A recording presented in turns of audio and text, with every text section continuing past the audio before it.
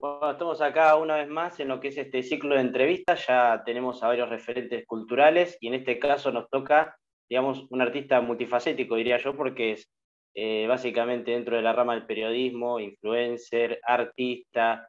Eh, también, bueno, obviamente uno puede decir que sería también alguien muy importante dentro de esta rama virtual, dentro de lo que es el contenido audiovisual. Pero bueno, sin más preámbulos, te saludo, Dana, y muchísimas gracias por la entrevista. ¿Cómo estás, Ulises? Gracias a vos, gracias por la presentación y bueno, aquí estamos, a la orden. Me gustaría comenzar mucho con la música porque particularmente es algo que nos enmarca a todos porque te hemos escuchado bastante, te vimos en programas musicales, quienes te seguimos desde el inicio, y nos gustaría saber cuándo vos decidiste volcarte al 100% dentro de lo que es el contenido audiovisual virtual y cuándo decidiste también dar ese choque dentro de todo lo que tiene que ver con la música. Siempre tiene mensajes políticos la música, pero lo tuyo ha sido como muy este, contestatario, digamos, por decirlo así. Sí. No, la música es una rama más como para tratar de transmitir eh, un mensaje, ¿no? Este, quizás la música, el rock and roll conmigo ha sido muy caritativo. Yo cuando era chico arranqué como todos. ¿Por qué razón un hombre hace cualquier cosa? Para conquistar mujeres. Eh, o jugaba la pelota bien o, eh, hacía, o formaba una bandita de rock. Bueno, no sabía jugar a la pelota, entonces eh, tuvimos que ponernos a, armar algunas cositas en algún garage, como arrancan todos. Y en aquel momento lo, máximo a lo que yo aspiraba era que algún día, como miraba yo a mis ídolos, que pasaran algún videoclip mío en la televisión, en algún canal de música. Y bueno, por eso digo que fue muy caritativa conmigo la música, porque terminé no solamente viendo mis videoclips en, la tele o en, las plataformas digitales, sino encima este, compartiendo escenarios o grabaciones con, quienes eran mis ídolos, ¿no? Ricardo Llorio, Adrián Barilari, el Negro Sánchez, que pan descanse. Eh, pero es una forma más de transmitir, de transmitir eh, lo que uno quiere, ¿no? Eh, a mí me gusta hacerlo mediante la música, mediante el humor, ese humor picante, esos sketches, esos cortometrajes, mediante los editoriales. Y, me preguntabas cuándo me decidí a ir de lleno a, trabajar en, los medios digitales, ¿no? o, a, dedicarme a, dar lo que algunos llaman la, la batalla cultural, crear contenido.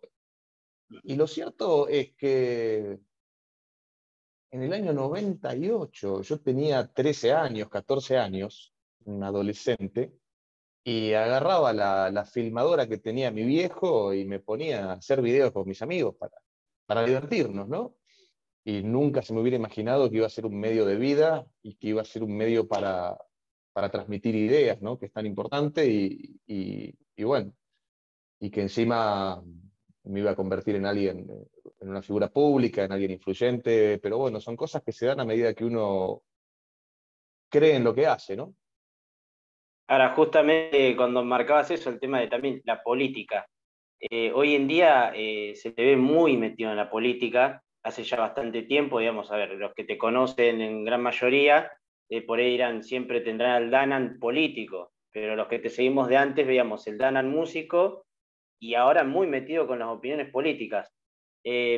¿Por qué, por qué digamos, este, te decidiste meter? Porque, digamos, eh, ahora está de moda que los artistas hablen de política y demás, pero cuando no muchos nadie lo hacían, vos ya empezaste con una marcada tendencia y más cuando hoy en día es fácil, como decías vos en las redes muchas veces, hoy es fácil decir muchas cosas, pero en aquel momento era como, y más para el lado de lo que es la derecha, la centroderecha, es como, viste, era algo como, uh, mala palabra, si decís eso, te estás prendiendo fuego.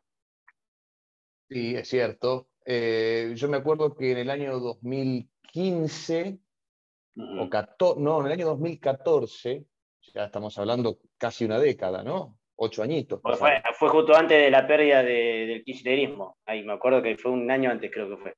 Exactamente. Y yo ya ahí había, había empezado a hablar en contra de los colectivos este, feministas y de género, y, viste, en aquel momento vos decías algo así y ya eras un misógino y un homofóbico, y, y hoy, debido a que fue pasando todo lo que hemos advertido, ya no somos tan misóginos ni tan homofóbicos. Ahora estamos llenos de odio, es como más, eh, es más abarcativo.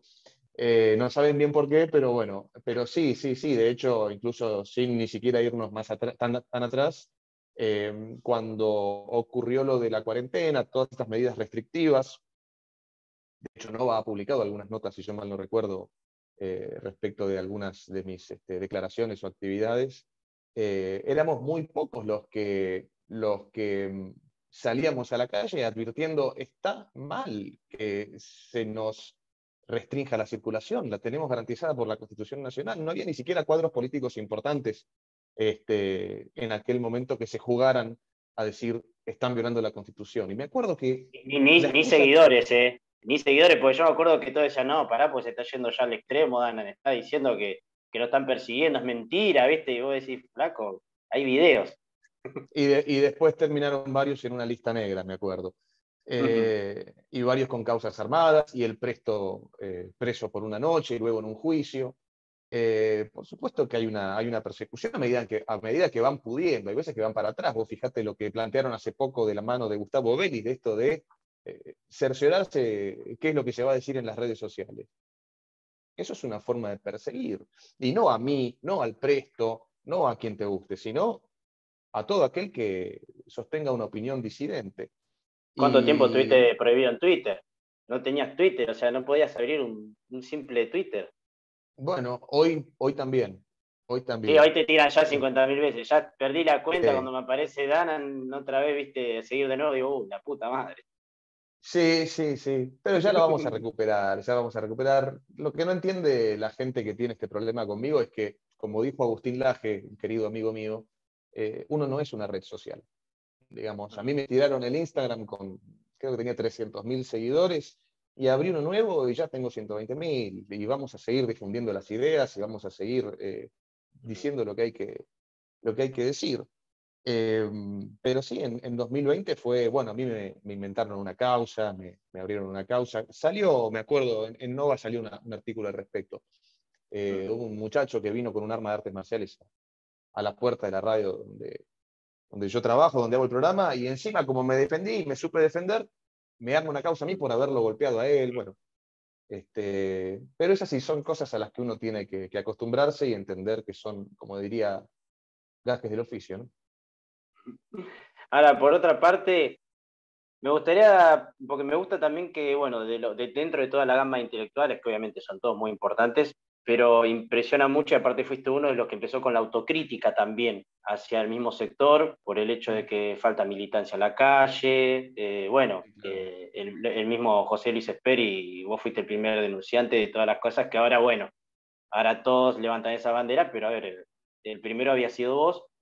Eh, eso dentro de, esa, dentro de esa autocrítica que vos haces de la, de la nueva derecha, me gustaría escucharte un poco más acerca de cuáles son los distintos ejes que vos crees hoy en día que hace falta para poder llegar a pensar en una presidencialista, o, sea, en un Milei presidente o en, algo, en que se llegue a la presidencia dentro de este movimiento, pero seriamente. Voy a lo que a lo que planteabas recién. Sí, yo fui el primer liberal, si querés, en advertir que José Luis Esper se había subido al avión o había hecho uso de los recursos de un tipo que estaba buscado por Interpol.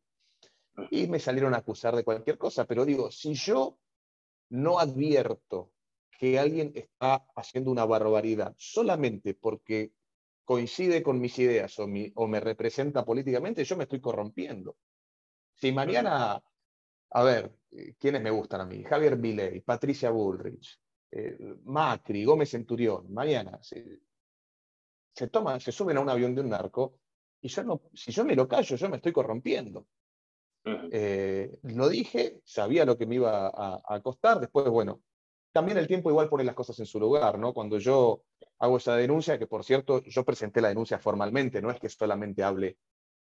Yo fui a la justicia electoral, dije, está pasando esto, presenté la denuncia, me citaron a declarar por Zoom, me acuerdo que fue la, declaración, eh, y está grabado eso, está registrado, y está mi denuncia.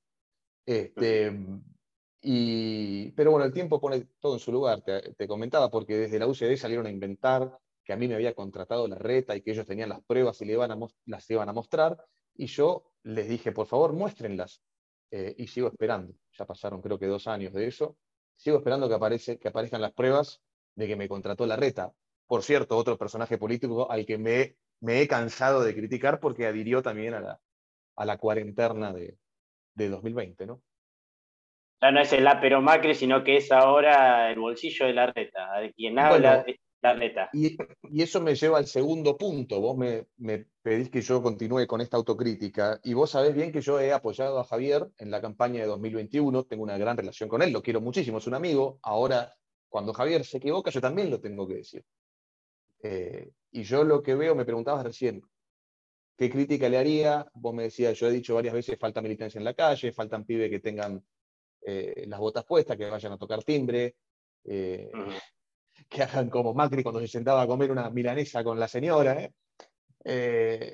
aparte de, de, faltar eso, yo lo advertí en una editorial hace poco, está pasando y yo dije que esto podría pasar en 2018, ¿eh? cuando yo empezaba a ver que había muchos chicos que se hacían de derecha por moda. Eh, está pasando que dentro del el liberalismo hoy se está convirtiendo en lo que se convirtió el feminismo. Es verdad. Hoy el feminismo, viste, te acusa de misógino cuando lo, lo denuncias, pero lo cierto es que por ejemplo, fue procesado, mira, un caso bien reciente, fue procesado el Perovich, mm. el colectivo feminista. Bien, gracias. Este, yo siempre pongo el caso de las feministas que han votado en contra de la prisión efectiva para los violadores, en contra del registro de violadores, cuando el feminismo todavía no llenaba sus bolsillos. Siempre hablo de la jueza feminista que le dio domiciliaria sin control a un, a un pederasta, eh, la abogada feminista Hermida de Leyenda, que fue defensora de un femicida. Digo, todas esas contradicciones que te va mostrando que el feminismo, digamos, es una herramienta de utilización política. Y con el liberalismo hoy está pasando lo mismo. Se ha convertido en un club social de marginados sociales el liberalismo, no el votante de mi ley, que es muy distinto. Eh, Javier tiene, tiene una masa de votantes que son el laburante, el tipo que está harto de que le cobren impuestos por cualquier cosa. Eh, el, como dijo una vez un analista, el, el, el motoquero de Rappi, ¿no? que es el tipo que está laburando, que se está ganando el pan día a día, eh, pero que capaz no sabe lo que es el liberalismo, no, leyó a, Hayek o, no, sabe quién, no sabe ni siquiera eh, eh, cuáles eran las bases de Alberti o de Gorostiaga. pero, pero ve en Javier una cosa más antisistema, más este, anticasta. Pero creo que hoy, y bueno, si yo te pregunto quién es hoy el equipo de Javier, ¿quién está?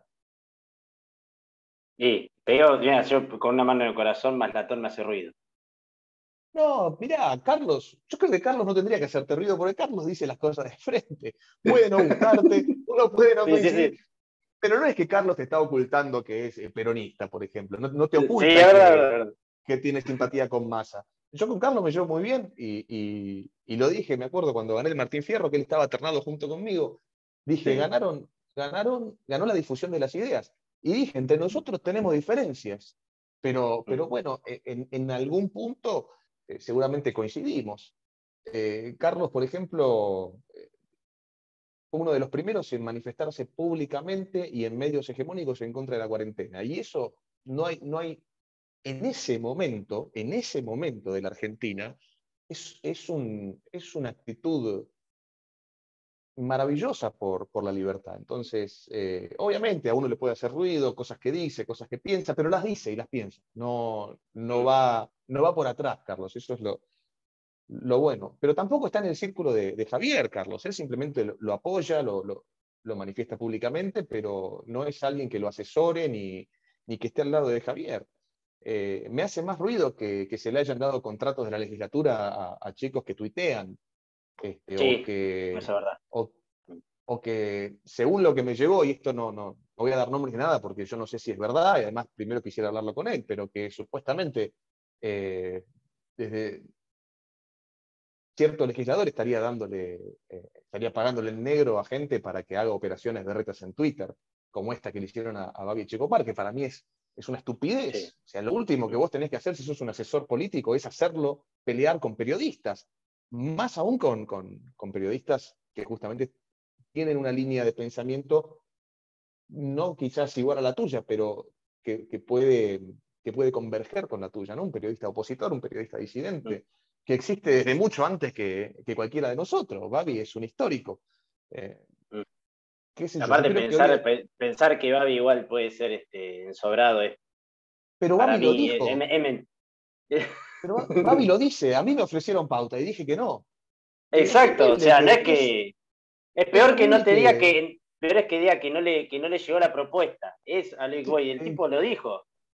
Pero además lo, cuenta, y, no es que lo agarraron en un, programa, estás al aire, lo, lo contó mil veces. Hay un montón de registros. Y es horrible ver que, viste, lo cortan justo cuando está a punto de decir, pero nunca acepté, y le operen mm. así. ¿Para qué? ¿Para qué? Yo creo que hoy Javi está, está mal rodeado, está mal asesorado. Este, creo que tiene mucha gente atrás que son los amigos del campeón. Yo se lo dije a él. Desde el momento en el que él asumió la banca, le dije, a partir de ahora, tené cuidado con los amigos del campeón. Él me dijo que está al tanto, pero no lo sé. Yo veo mucha gente que quiere tongo, mucha gente que, incluso nos ha injuriado, difamado a quienes lo hemos ayudado sin Juliana, Juliana, Juliana, Juliana Santillán. Juliana Santillán hasta llegó a atacar a Kitty Sanders, que es una amiga personal de Javier, yo la conozco a Kitty, y Kitty lo cuidó toda la vida, y que después te salga una tipa como Juliana Santillán que se junta con kirchneristas en Mar del Plata. bueno, eso es otro tema. En, Mar del Plata se asociaron con el partido Crear, que le votan todo, le, están votando todo al kirchnerismo, y además hay personajes ahí que venían del frente de todos. Entonces digo, ¿quién está haciendo esas, esas alianzas? Porque cuando yo proponía una alianza entre Javier y los halcones de Juntos por el Cambio, me trataban de que yo quería vender a Javier a Cambiemos. ¿A quién? Mm. O sea, como si Javier fuera un estúpido.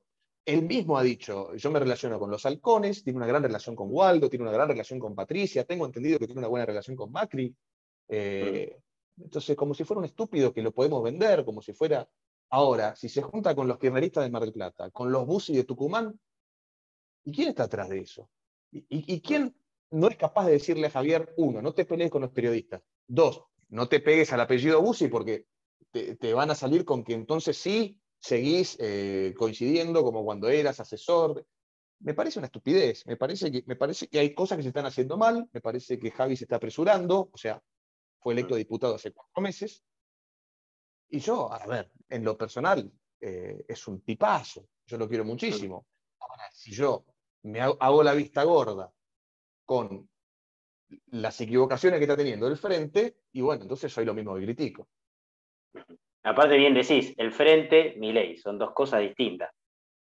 Bueno, es que por eso para mí es fundamental rodearte de gente que sabe que está ahí. Mira, yo jamás le pedí una moneda a Javier, ni una moneda, ni un cargo. Él me vino a ofrecer ser parte de, la lista, yo le dije que no, para no manchar, ¿viste? Porque te quiero apoyar desde la, desde la sinceridad y sin ningún interés personal.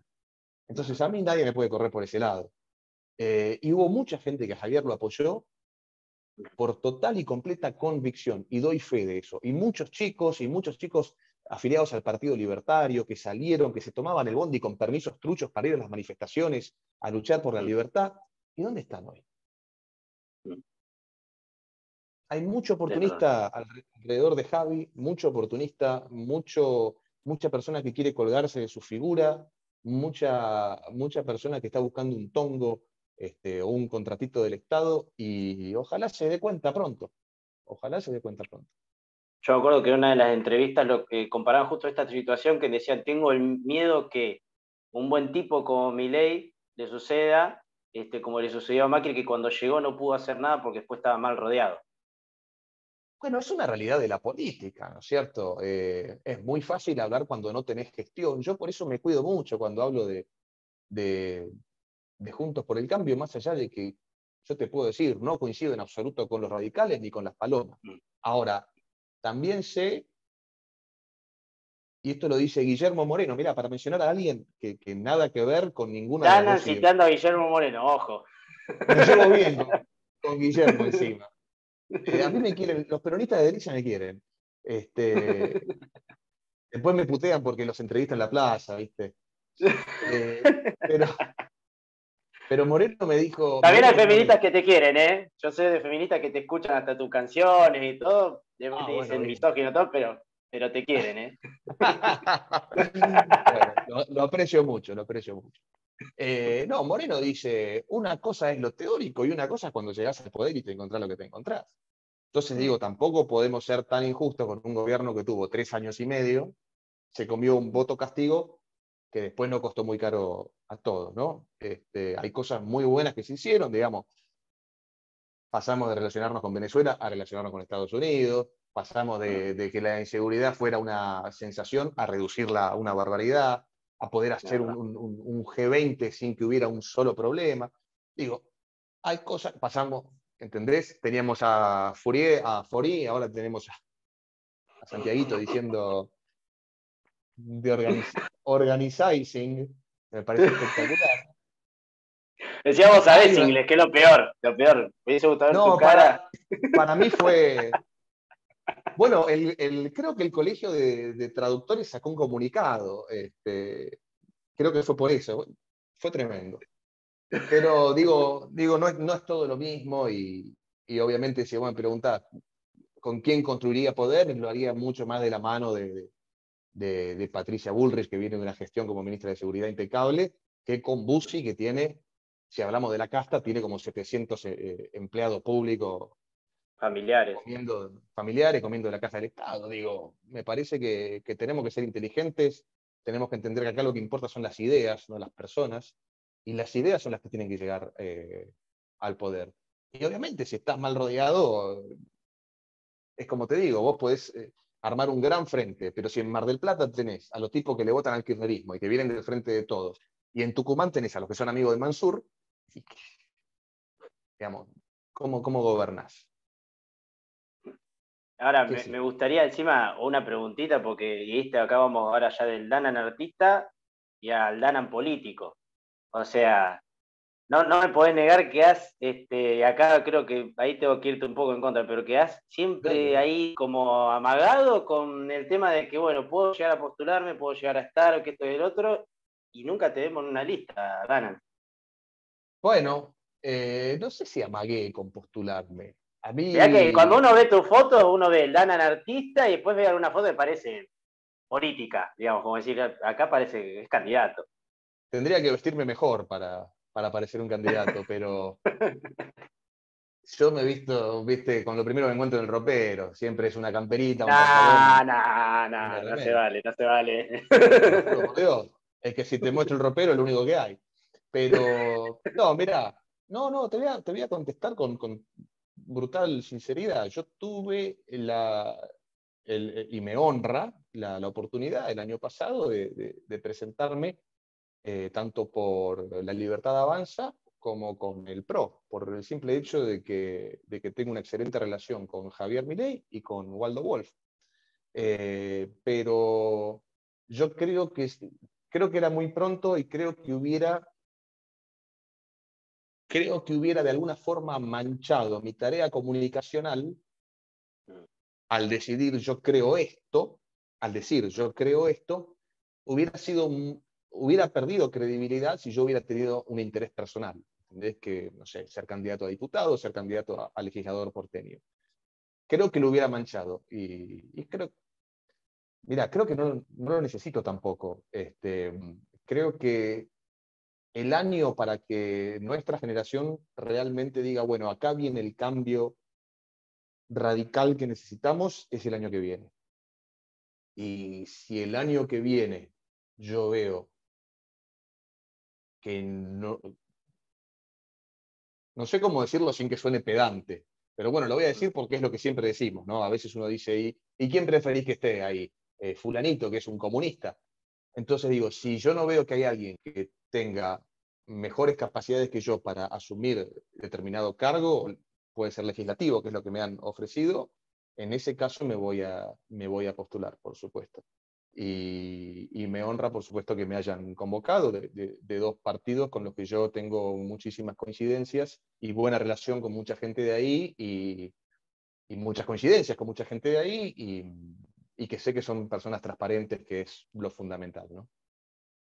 Por otra parte, dentro de lo que es la política, eh, siempre, digamos, obviamente en esta evolución de la derecha, siempre se ha hablado nueva derecha, derecha, eh, liberal, conservador, nacionalista, este, y uno te ha visto también que siempre ha, sido, digamos, también un poco de las tendencias de las distintas derechas. Hoy, si te tenés que decir de, derecha, ¿lo dirías, soy de derecha? Hoy en día te sentís un poco más liberal, un poco más, conservador y nacionalista no sos, o sea, en ese sentido. Yo no te, te más con la idea de la libertad. Yo creo que está mal el concepto que se le da hoy a la derecha y el concepto que se le da hoy a la izquierda. Si vos te pones a pensar en, la imagen de la Revolución Francesa, con quienes estaban sentados a la derecha del presidente de la Asamblea y quienes estaban sentados a la izquierda, y claramente hoy estaríamos sentados a la izquierda. Nosotros somos la izquierda, nosotros somos los que queremos que las cosas cambien. Eh, la derecha son los que creen que son izquierdistas.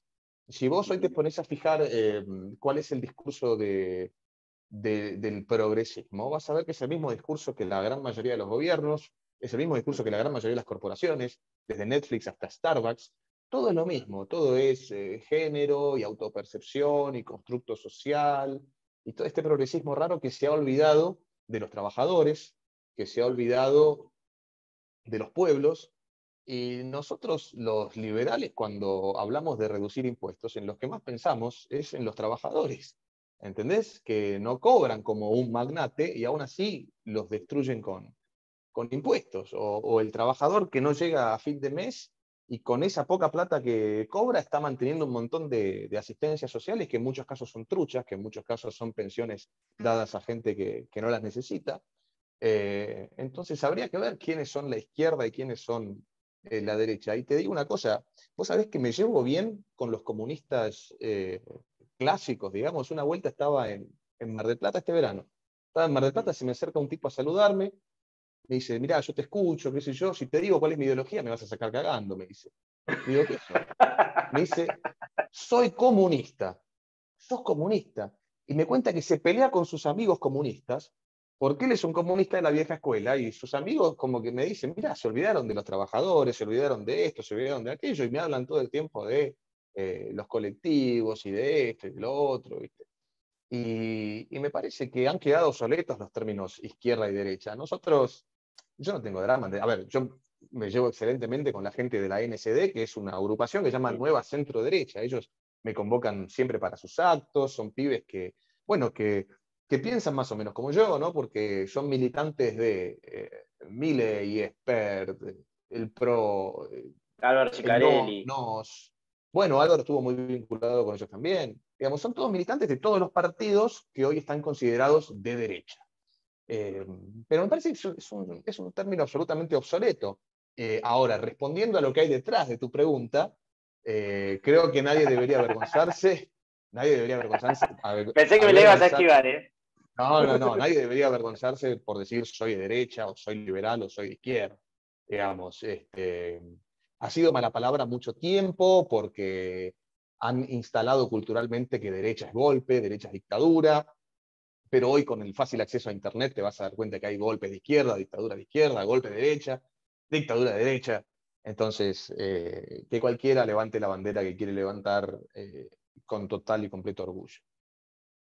Ahora, como última pregunta, y agradecerte en serio, Danan, por, por, este, tomarte tiempo en tu agenda, me gustaría saber, ¿no te cansás a veces de tener que, debatir y explicar a veces cosas tan obvias? O sea, hay veces que no decís, este, hoy estoy cansado ya de debatir, siempre tengo que andar explicando las cosas tan obvias. ¿No, no te cansa en un momento? Te voy a contar una anécdota, una anécdota reciente. El 8 de marzo último, Oh, cote que un día yo vi un video en el que en un momento dijiste, sacámelo, ya no aguanto más, sacámelo y lo sacaste al tipo ya del aire, no es que aguantabas más. Me ha pasado. Yo era más calentón, capaz cuando, cuando arranqué en la radio, en 2018 me, me enojaba. Pero ahora no. Y mira, te voy a contar una anécdota muy reciente. El, 8 de marzo casi no voy a la plaza. Eh, dije, voy, tengo que ir a trabajar, digamos, tengo que ganarme el pan. Eh, pero no, estoy cansado de ir y que las respuestas siempre sean las mismas.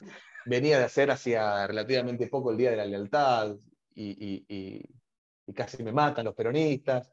Eh, Muy picante, sí. pero fue divertido. A mí, cuanto más picante, más divertido, porque soy un, soy un psicópata, pero... Eh, pero bueno, digo, bueno, voy, tengo que ir al 8 de marzo, tengo que ir. Este, y fui cansado, sin ganas, pero fui.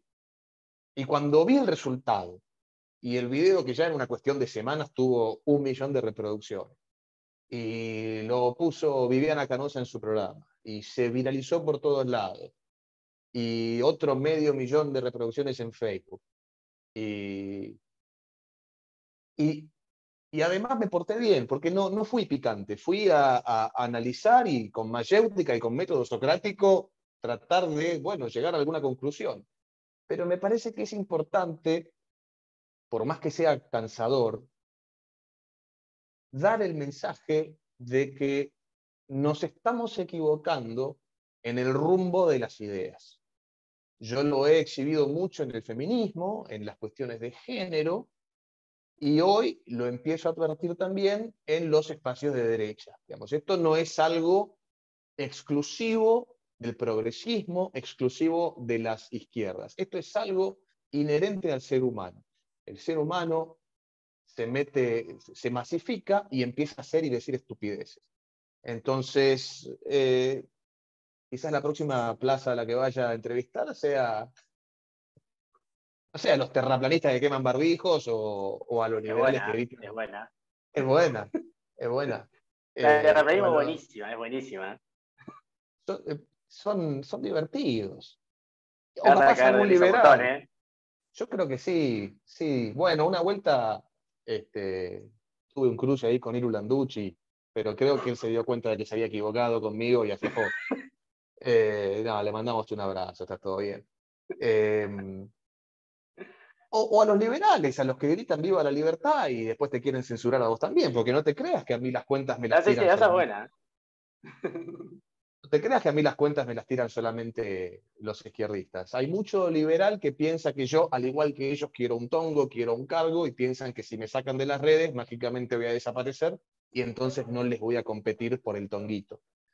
Y bueno, no entienden el mercado, no entienden el mercado. Esa es otra, entrevistar a liberales que no entienden el mercado, que capaz intentan manchar tu nombre diciendo que sos un operador como si un sueldito público en pesos eh, ¿no? Uno, uno, quisiera cambiar los dólares de, YouTube y de las plataformas capitalistas por un sueldito de un, de un funcionario público. Es no entender el mercado. Así que estoy dispuesto a entrevistar a cualquiera. Eh, a mí me gusta, me gusta, me gusta desenmascarar la doble vara y sobre todo, y por, por sobre todas las cosas, la estupidez. La verdad que te agradezco un montón, Danan. Deseo, te agradezco un montón. Y desde no, obviamente, este, dejamos abierta la posibilidad seguramente para, para, más entrevistas y ojalá la próxima sea como candidato. ¿eh? Bueno, bueno, está bien, cuando quiera. me tengo presión, me tengo presión. Y bueno, puede ser, puede ser, puede ser. Voy a tener que cuidarme más con las palabras, con lo que digo, pero bueno. Se acabaron las plazas. No, no, no, eso nunca. Capaz, se acabaron algunas malas palabras, algunos exabruptos, pero, pero no las plazas. Muchísimas gracias. Ulises, gracias a vos y bueno, cuando quieras repetimos.